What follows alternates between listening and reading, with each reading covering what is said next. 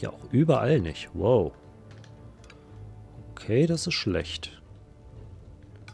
Gibt's hier vielleicht noch Gold? Auch nicht.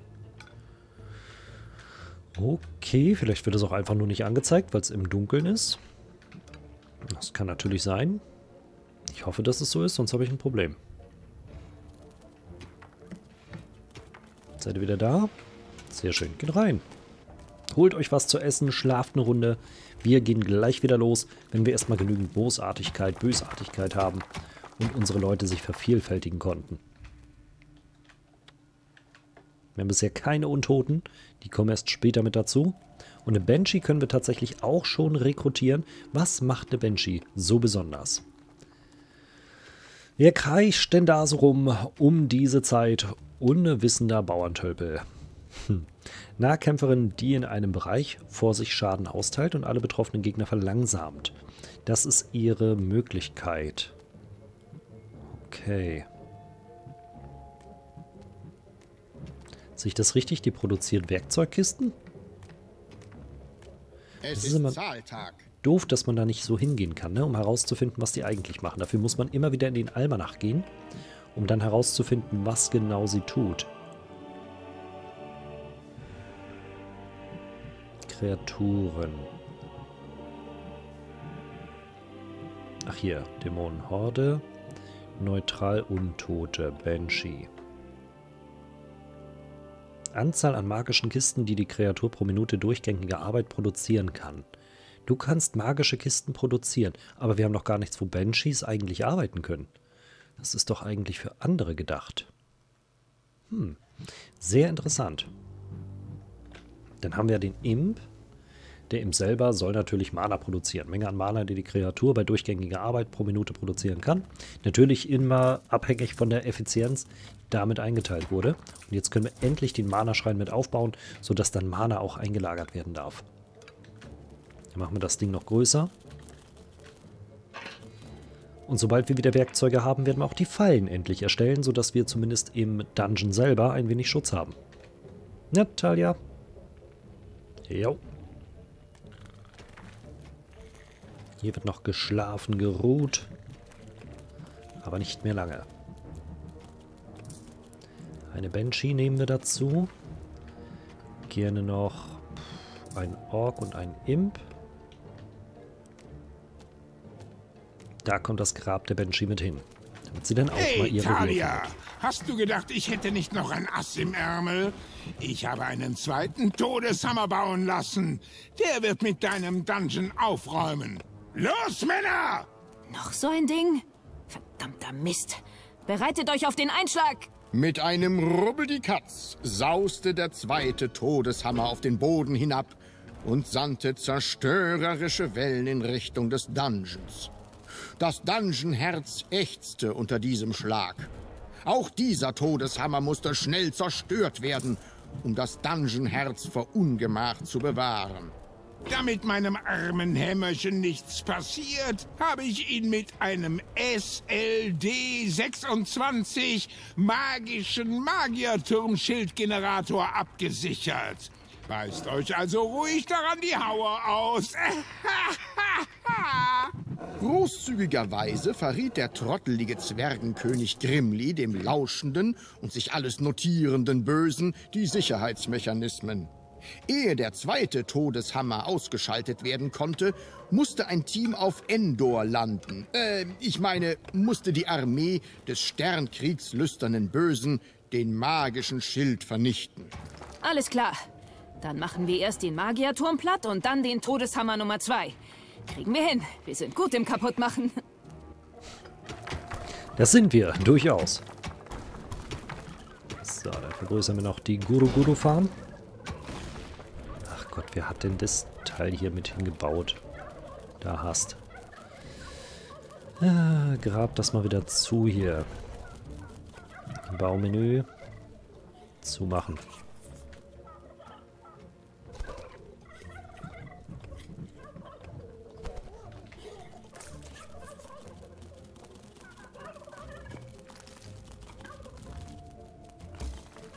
Es sind Feinde in eurem Dungeon. Sollen sie kommen, ist nicht schlimm. Wichtig ist nur, dass wir das Teil hier wieder zumachen, damit die Guru-Gurus ordentlich kommen. Hey!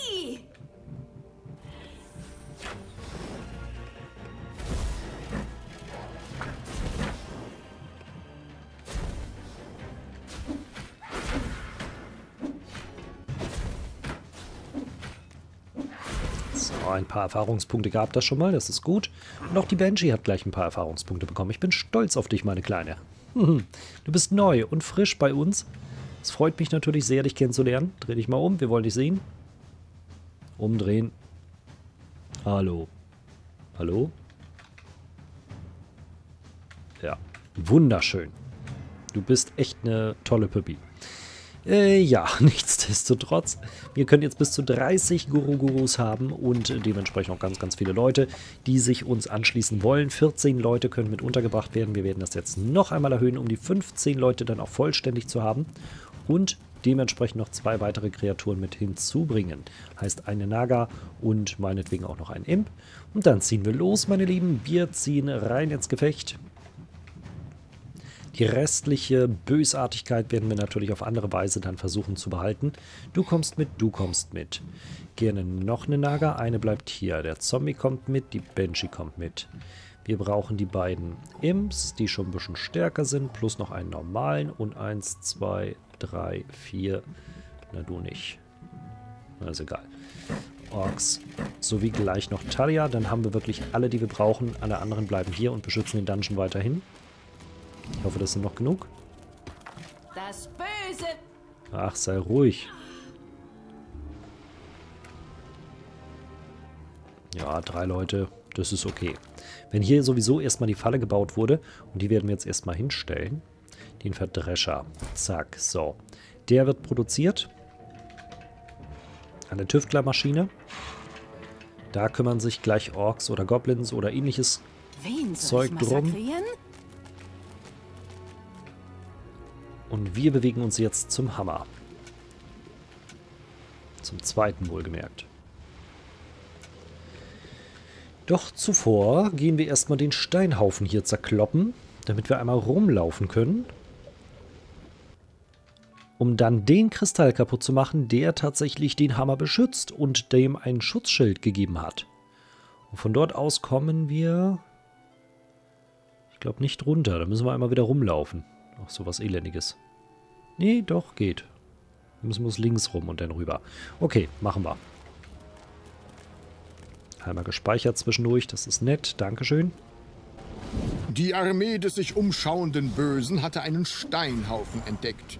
Mit etwas brachialer Gewalt würde dieser in die Schlucht stürzen und so etwas wie eine Brücke bilden. Computerspiellogik.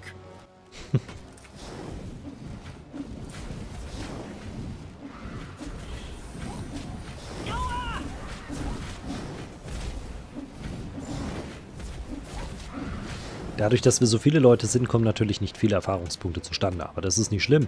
Muss, müssen sie auch nicht, denn wir haben ja die Möglichkeit, uns noch weiter aufzustufen. Das werden wir jetzt auch gleich mal nutzen. So, zweimal für die Orks bzw. die Horde. Und dann später noch ein paar Mal für unsere Imps, dass auch die noch ein bisschen stärker sind, wenn wir gegen Grimly antreten.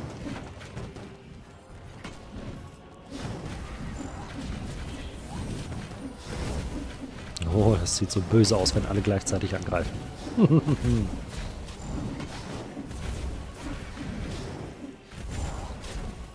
Und wieder gibt es mehr Bösartigkeit. Ich liebe es. Zack. So, jetzt sind die Imps wieder ein bisschen stärker. Und das ganze Gebiet wird einfach nur dunkel und böse.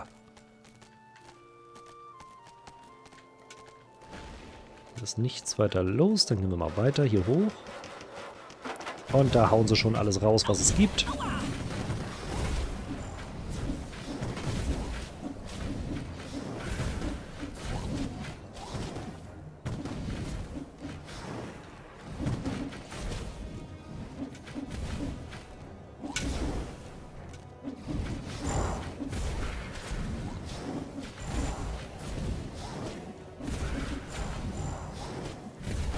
Guti. Das nächste Rekrutierungslager ist down, das heißt auch da wird erstmal nichts mehr kommen. Oh, jetzt haben wir hier ein paar Türme vor uns. So wie natürlich den Kristall. Und Helden sind auch noch da. Schnell, schnell, schnell. Einen haben wir zumindest erledigt. Okay. Die anderen beiden müssen wir halt mit denen fertig machen, die noch da sind. Das sind immerhin vier Stück. Ja, nicht mehr lange. Alles gut. Wichtig ist, dass mir hier oben auch keine Leute sterben. Aber noch scheint alles in Ordnung zu sein.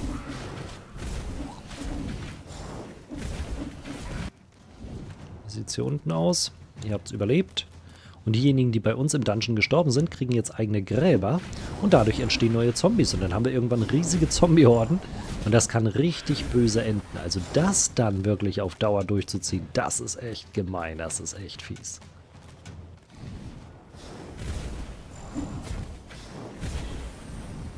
Oh, voll weggeschossen. Die Arme. Tut mir doch schon ein bisschen leid. Aber nein, ich bin das Böse. Mir tut gar nichts leid. Im Gegenteil, ich verstärke meine Leute immer weiter.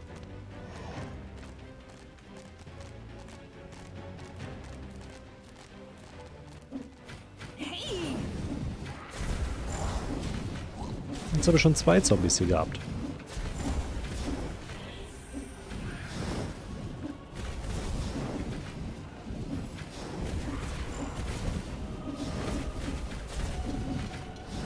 Wen soll ich massakrieren? Och, jeden mal so ein bisschen bitte.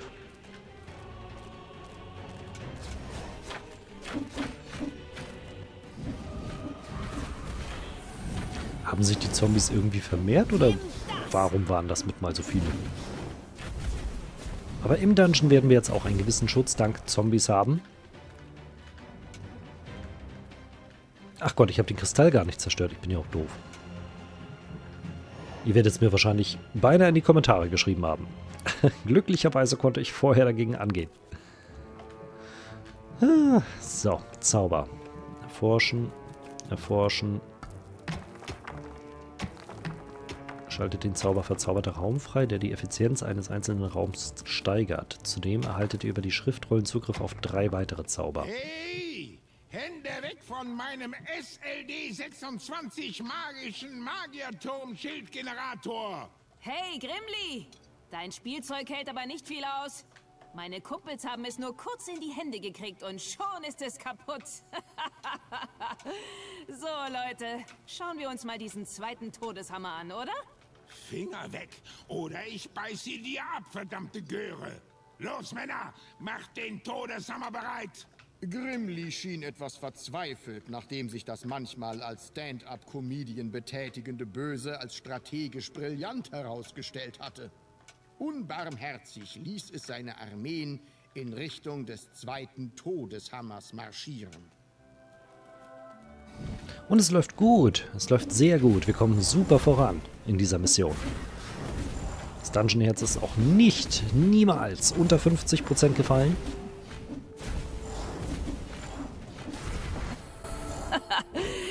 Diese Dinge halten ja wirklich nichts aus, oder? Grimly, ich glaube, deine beiden Hämmer sind mir aus Versehen kaputt gegangen. oh, tut mir so leid. Ich werde dich mit meinen bloßen Händen erwürgen, Mädel! Du verdammte, widerwärtige! Damit wir nachher nicht die ganzen Kraftausdrücke von Grimly rausschneiden müssen, übernehme ich hier. Das brillante Böse hatte es geschafft. Auch der zweite Hammer der Zwerge war Geschichte. Und seine Armee näherte sich unaufhaltbar der Zwergenstadt Stahlschmiede. In den Ja, Geruch von. Metallverarbeitung, der von der Stadt in Richtung des Dungeons zog, mischte sich nun noch etwas anderes. Es war der Angstschweiß der Zwerge. Aus gutem Grund. Wir werden ihre Stadt dem Erdboden gleichmachen. Wir könnten auch immer noch zur guten Seite zurückkehren. Lass mich kurz darüber nachdenken. Hm, nein, Was macht ihr da? Okay. So, du kannst dich wahrscheinlich nicht heilen, richtig? Und du wirst wahrscheinlich auch nicht von den Nagas mitgeheilt, so wie es mit den Imps auch der Fall ist. Du musst einfach irgendwann wieder auferstehen. So wie die da. Die stehen auch bald wieder auf.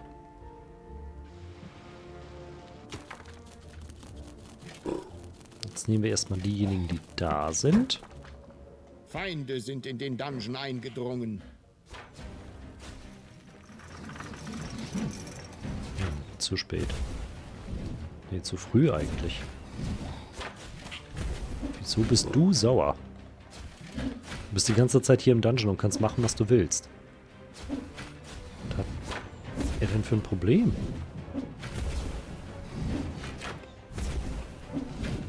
Irgendwie brauche ich hier mal Hilfe, bitte.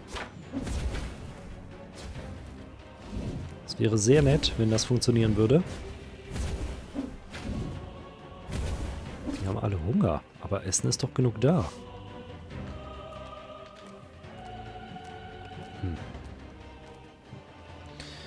Egal. Befehligt mich. Offensichtlich wird die Banshee nicht geheilt. Sie muss immer wieder auferstehen. Das ist natürlich doof für uns. Italia, ich habe eine Überraschung für dich. Du weißt ja, alle guten Dinge sind drei. Im Ernst, du hast noch einen verdammten Todeshammer? Einen Todeshammer? Ha! Ich hab drei Todeshämmer. Das Ganze noch dreimal? Das scheint mir doch sehr einfallslos. Du bist so... Stopp! Hammerzeit! Die drei Todeshämmer hatten gemeinsam deutlich mehr Wumms als ein einzelner. Es würde dem Dungeon-Herzen sicher gut tun, wenn auch diese alsbald den Betrieb einstellten. Durchaus. Hammer schlägt erst in 10 Minuten wieder zu und wir haben nicht mal die nicht mal ein Viertel verloren. Sieht gut aus.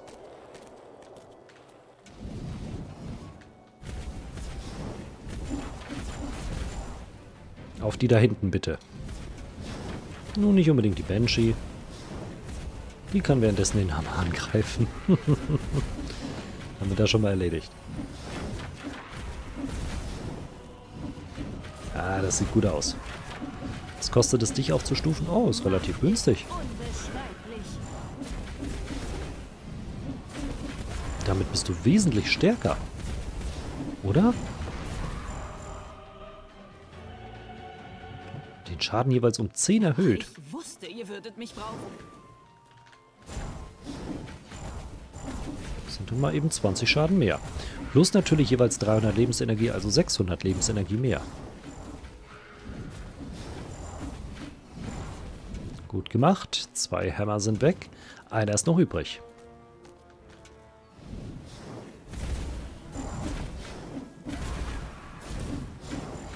So, unsere Horde ist auch wieder ein bisschen stärker. Ich hoffe, wir werden jetzt den Rest auch schaffen. Ich denke, dass es gleich im Kampf gegen geht. nicht anders. Ich werde mich selbst um dich kümmern. Für Tod und Glorie. Das Horn Grimli Hammerhans soll erschallen in der Klamm. Ein allerletztes Mal. Männer, dies möge die Stunde sein, da wir gemeinsam Schwerter ziehen.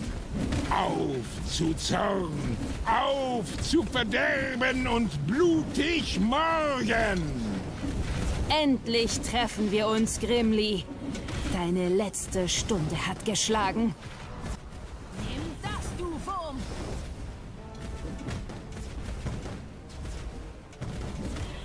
Ja, ein Ork erschlagen, natürlich. Aber wenigstens kriegen wir die da hinten weg. Denn die haben schon so ein bisschen genervt. Seid stärker. Kann ich nochmal aufstufen.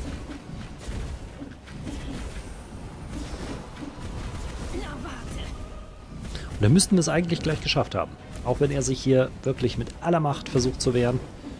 Er hat verloren.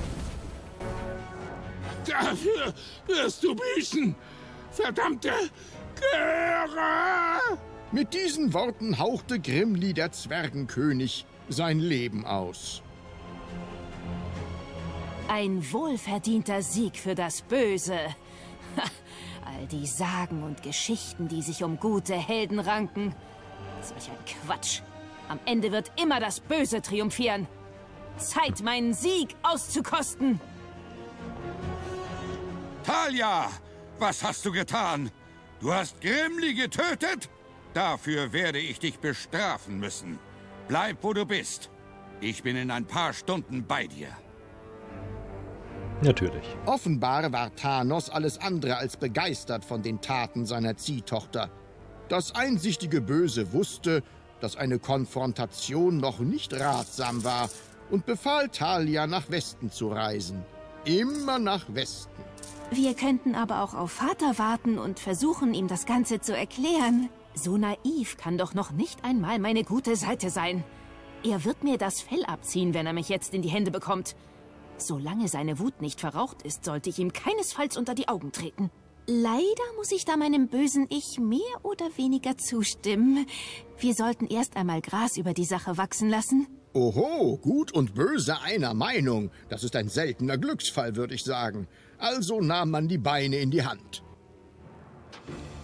Und lief los, meine Lieben. Wir haben es geschafft. Auch diese Mission ist sehr, sehr gut abgeschlossen. Wir waren sogar schneller als viele andere im globalen äh, Ranking. Hinderlich wie überall war hier der eigene Todesfall. Nachdem den Zwergenkönig Grimli ein vorzeitiger Tod durch die Armeen des heldenverprügelnden Bösen ereilt hatte, machte sich Talia aus dem Staub. Sie zog mit den bösartigen Kreaturen in die Tunnel und Minen von Stahlschmiede, die mit den entferntesten Orten der Welt verbunden waren. Die überstürzte Abreise erwies sich als goldrichtig, denn schon kurz darauf erschien Thanos auf der Bildfläche und mit ihm eine gewaltige Armee des Guten. Als er den leblosen Körper seines Freundes sah, schrie er seinen Zorn in die Welt. Wie es überemotionale Helden nun einmal zu tun pflegen, während die Kamera langsam aufwärts zoomt. Einige Stunden später fand sich Thanos zusammen mit seinen verbliebenen Mitstreitern in einem Zelt ein. Wir geben nun in etwa das wieder, was besprochen wurde. Mimi, Mimi, das Böse wird uns vernichten. Wir sind verloren. Jammer, jammer, jammer. Und noch andere Dinge dieser Art. Letztlich rief Thanos seine Mitstreiter zur Ruhe auf und befahl ihnen, in ihre Reiche zurückzukehren und deren Verteidigung aufzubauen. Sie taten also das, was halt alle guten Völker so machen. Sich hinter dicken Mauern ängstlich verschanzen und zu hoffen, dass der Sturm vorbeizöge und andere träfe. Wie überaus edelmütig. Thanos sandte unterdessen Späher aus, um seine dem Bösen verfallene Schülerin aufzuspüren. Thalia hatte sich in der Zwischenzeit durch die Minen von Stahlschmiede geschlagen, dabei aus Versehen eine Armee erweckt und war vor einem peitschenschwingenden Dämon geflohen. Was einem halt so passiert, wenn man in zwergischen Tunneln unterwegs ist. Immerhin hatten sie Thanos und seine Armee hinter sich gelassen und bewegten sich nun unbehelligt durch das Hinterland, darauf brennend, Chaos und Schrecken zu verbreiten. Und ein bisschen Entsetzen. Aber nur ein bisschen. Tja, meine Lieben. Die nächste Kampagne bzw. die nächste Mission in der Kampagne werden wir jetzt natürlich auch spielen und ich freue mich jetzt schon drauf, denn die Stahlschmiede ist durch, Grimli ist raus, das heißt nur noch Thanos ist vor uns und seine riesige Armee. Ich bin gespannt, ob er noch jemand anderes aus dem Hut zaubert, aber ich gehe davon aus, dass das nicht der Fall ist. Meine Lieben, zwei Folgen hat es gedauert und damit war auch diese Mission wieder durch. Bis gleich im nächsten Part und dann natürlich geht's weiter. El Presidente befiehlt sofort ein Abo dazulassen. Sonst. Sonst was? Genau.